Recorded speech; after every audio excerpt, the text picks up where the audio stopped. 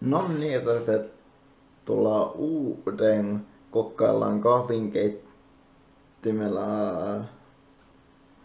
sarjan pariin, joten mennään kokkailemaan.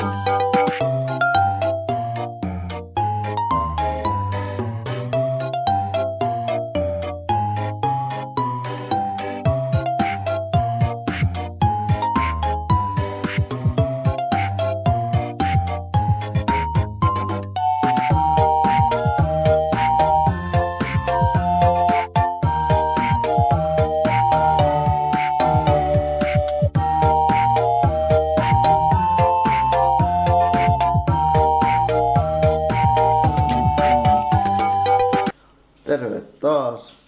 Kuten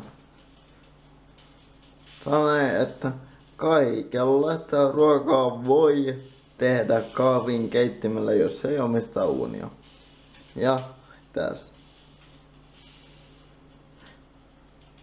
Tämä on yksi väliä, mitä voi tehdä kahvinkeittimellä, mutta pitää olla erittäin hyvä kahvinkeitin, että jaksaa paistaa kunnolla. Ja että on ihan, ihan iso pise. Toi paistolevystä sillä Mut kiitti, että katsoit videon. Sanon tältä erää. Moi. Laittakaa kommentteihin, mitä mä voisin tehdä kahvinkeittimellä seuraavaksi. Juu, se olisi moro!